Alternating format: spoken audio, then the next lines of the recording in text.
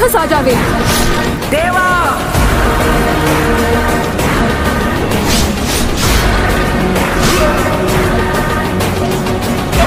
दोस्तों, आज Indian box office पर और दुनिया भर के बॉक्स ऑफ़िस पर सुपरस्टार प्रभास की मच अवेटेड फ़िल्म सलार का पहला हफ़्ता खत्म होने जा रहा है। और दोस्तों, अपने पहले हफ़्ते के साथ ही इस फ़िल्म ने इंडियन सिनेमा ही नहीं, बल्कि वर्ल्ड वाइड बॉक्स ऑफ़िस पर कई सारे रिकॉर्ड्स को अपने नाम कर लिया। और दोस्तों, इस साल रिलीज़ होने वाली किसी भी साउथ इंडियन फ़िल्म से बड़ी ओपनिंग यहाँ पर फ़िल्म सलार को इंडिया में और दुनिया भर में मिली है। तो आज के इस वीडियो में हम बात करने वाले हैं फ़िल्म सलार के सात दिनों के इंडियन और world wide box office collection के बारे में जानने वाले हैं दोस्तों कि इस फ़िल्म ने इन सात दिनों में दुनिया भर में किन किन रिकॉर्ड्स को तोड़ा है? क्या ये फ़िल्म डंकी को बॉक्स ऑफ़िस पर पीछे कर पाई है या नहीं? तो वीडियो को लास्ट तक ज़रूर देखिएगा। अगर आप भी सलार का इंतज़ार बेसब्री से कर रहे थे सुपरस्टार प्रभास के डाहट फ़ैन से तो चलिए शुरुआत करते हैं। तो दोस्तों, जैसा कि आप सभी जानते हैं कि सलार एक एक्शन थ्रिलर फ़िल्म है, जैसे कि ऑल ओवर इंडिया में लगभग साढ़े चार हज़ार स्क्रीन पर हिंदी, तमिल, तेलुगु, कन्नड़ और मलयालम भाषा में रिलीज़ किया गया है।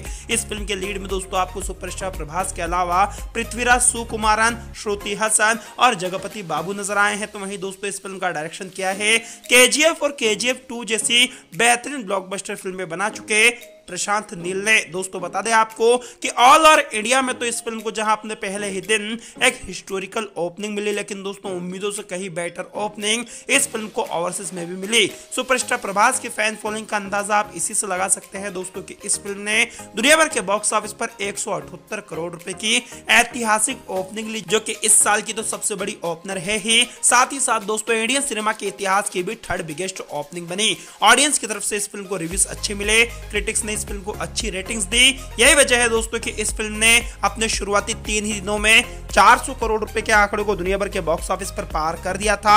लेकिन अगर बात की जाए इस फ़िल्म के, अब विगडेस के कलेक्शंस की दोस्तों अपने विगडेस में भी ये फ़िल्म बॉक्स ऑफ़िस पर काफ़ी अच्छा होल्ड करती हुई नज़र आई। अगर बात की जाए इस फ़िल्म के all India net box office collection के दोस्तों इस फ़िल्म ने, जहाँ अपने चौथे दिन सैतालीस करोड़ रुपए की नेट कमाई की, जिसमें दोस्तों हिंदी से इस फ़िल्म के कलेक्शन सोलह करोड़ रुपए के रहे। अपने पाँचवें दिन दोस्तों इस फ़िल्म ने 27 करोड़ रुपए कमाए, जिसमें हिंदी से इस फ़िल्म ने कमाए 9 करोड़ 50 लाख रुपए। तो वहीं दोस्तों, कल अपने छठे दिन भी इस फ़िल्म के कलेक्शंस में सेम होल्ड देखने को मिला और इस फ़िल्म ने कमाए हैं 22 करोड़ रुपए। और दोस्तों, हिंदी में इस फ़िल्म के कलेक्शंस कल भी 9 करोड़ रुपए के आंकड़े को टच करने में कामयाब रहे हैं। ऐसे में दोस्तों, इस फ़िल्म का जो टोटल कलेक्शन है, वो all India net box office पर 302 करोड़ रुपए के आंकड़े को टच करने में कामयाब रहा है, जिसमें दोस्तों, हिंदी से इस फ़िल्म ने अठासी करोड़ रुपए की कमाई कर ली है। बात की जाए वर्ल्ड वाइड बॉक्स ऑफ़िस की तो दोस्तों, बताते चले आपको कि ट्रेड फिगर्स के हिसाब से तो ये फ़िल्म इंडियन बॉक्स ऑफ़िस पर और दुनिया भर के बॉक्स ऑफ़िस पर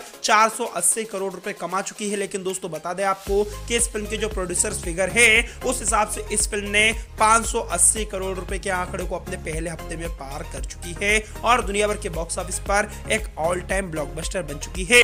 इस फ़िल्म के दोस्तों, कल अपने सात दिन के भी कलेक्शंस मिलाकर ये फ़िल्म दुनिया भर के बॉक्स ऑफ़िस पर 610 करोड़ रुपए के आंकड़े को टच कर रही है। और इसी के साथ दोस्तों, ये फ़िल्म इस साल रिलीज़ होने वाली जेलर और लियो के कलेक्शन को पीछे करते हुए इंडियन सिनेमा और साउथ सिनेमा की नंबर वन ग्रोसर दुनिया भर के बॉक्स ऑफ़िस पर बन चुकी है। दोस्तों बताते चले आपको कि ये फ़िल्म आज इंडियन नेट बॉक्स ऑफ़िस पर आसानी से जहाँ हिंदी में ही साढ़े तीन करोड़ रुपए की एडवांस ले चुकी है। दुनिया भर के बॉक्स ऑफ़िस पर लगभग आठ करोड़ रुपए की एडवांस ले चुकी है। मॉर्निंग से ही दोस्तों इस फ़िल्म के आज के भी कलेक्शन काफ़ी अच्छा नज़र आ रहे हैं। और दोस्तों ये फ़िल्म आज अपने सातवें दिन all India net box office पर 20 करोड़ रुपए कमाने वाली है जिसमें दोस्तों हिंदी से ये फ़िल्म 8 करोड़ रुपए कमा रही है। ऐसे में दोस्तों, इस फ़िल्म का हिंदी से जो नेट कलेक्शन होगा, वह लगभग छियानवे करोड़ रुपए का होगा। और दोस्तों, ये फ़िल्म कल सौ करोड़ के क्लब में शामिल होने वाली पैन इंडिया सुपरस्टार प्रभास की पांचवी हिंदी फ़िल्म बन चुकी होगी। आपको क्या लगता है दोस्तों, क्या सुपरस्टार प्रभास की फ़िल्म सलार बॉक्स ऑफ़िस पर हिंदी में डंकी के